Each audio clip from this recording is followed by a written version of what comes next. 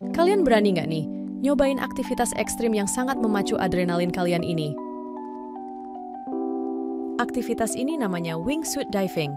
Aktivitas yang di mana kamu harus melompat dari puncak ketinggian, turun menerjuni langit seperti layaknya seekor burung, dan mendarat ke permukaan bumi menggunakan parasut. Tidak hanya memacu adrenalin saja, tapi aktivitas ini sangat menguras tenaga. Karena sebelum kalian terjun, kalian harus mendaki gunung yang berketinggian sekitar 500 sampai 700 meter. Tapi jika kamu adalah pecinta adrenalin dan ketinggian, kalian harus banget nih nyobain wingsuit diving. Jadi gimana nih? Kalian berani nggak kira-kira nyobain aktivitas ini? Yuk komen di kolom komentar di bawah.